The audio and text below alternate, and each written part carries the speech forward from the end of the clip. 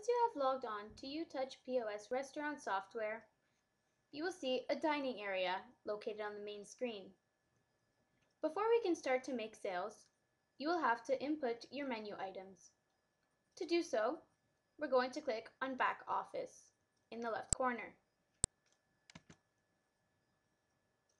Then, we are going to click on Menu.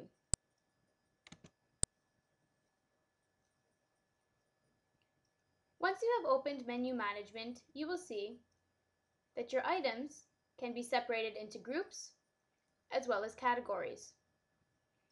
You can also add modifiers to certain items. These modifiers can also be separated into groups. We are going to start by adding a menu category. To add a new menu category, click Add New.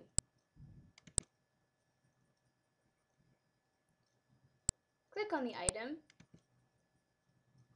to insert its name.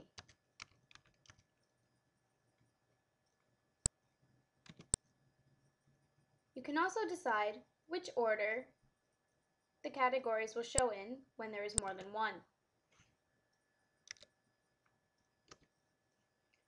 And you can add a description for each category. Click anywhere on the screen and you will see that your new menu category has been added. Once you have added all of your menu categories, we're going to click on Menu Group. To add a new group, click Add New. You can see on the left that the menu groups are split into menu categories. To choose the category, click in the Item Category column and scroll down to select the appropriate category.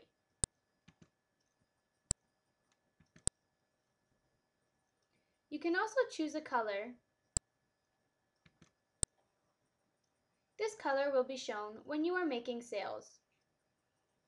There are a range of different colors that you can choose for the button of these groups. Select a color and you will be able to see the new color in the column. We are also going to enter the name of the group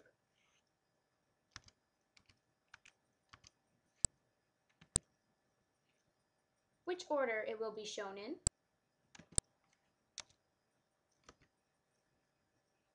and its description.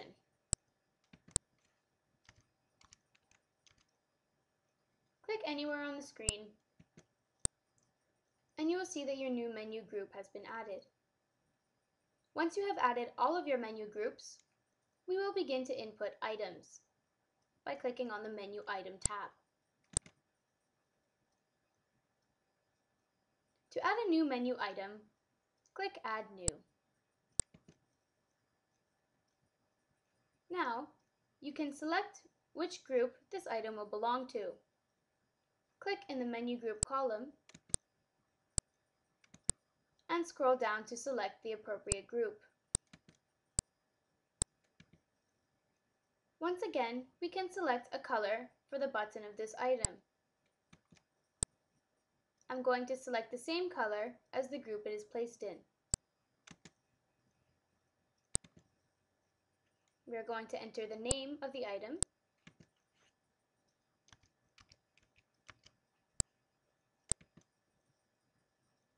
order it will be shown in,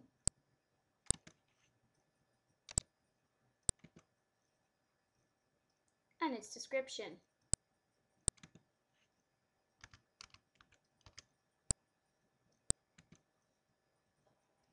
You will also see there is an option for a barcode. This will become helpful if you are selling things such as bags of coffee, which will have a barcode attached to them.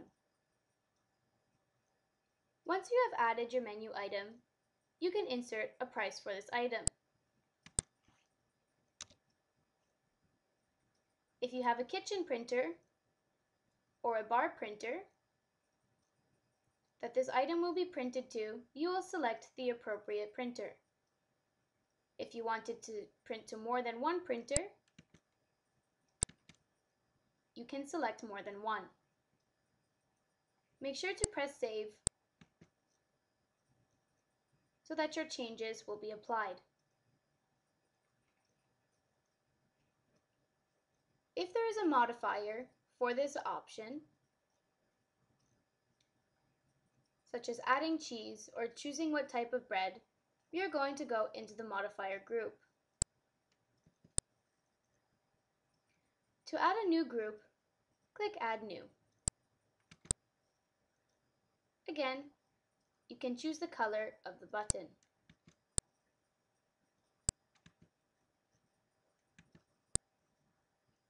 Enter the name for the group of modifiers.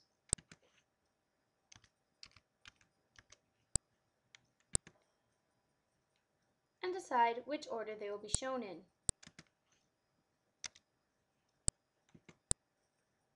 You can also add a description.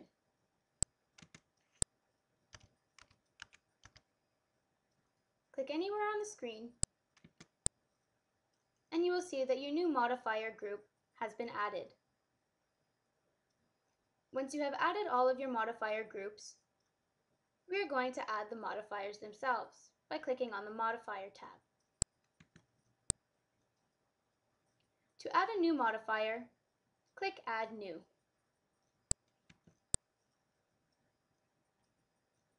Now, you can decide what group this modifier will be a part of by clicking in the column and selecting the appropriate group. Choose a color for your button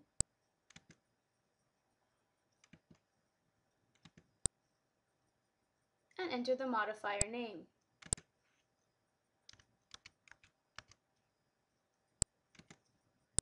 Finally, we will add the order that it is shown in and the item description.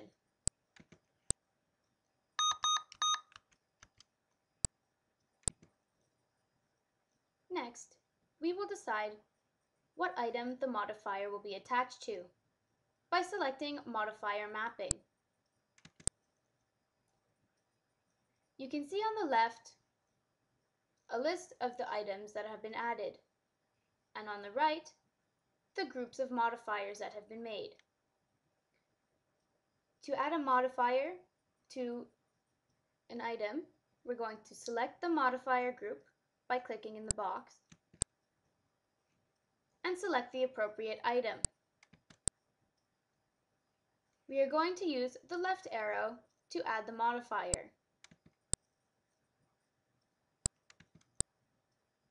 If you wish to delete a modifier, you will make sure that the modifier is selected and click the right arrow to delete it.